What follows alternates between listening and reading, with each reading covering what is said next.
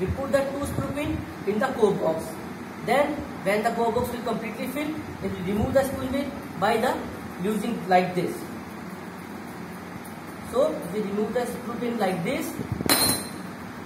Then we uplift the core box from the drag box.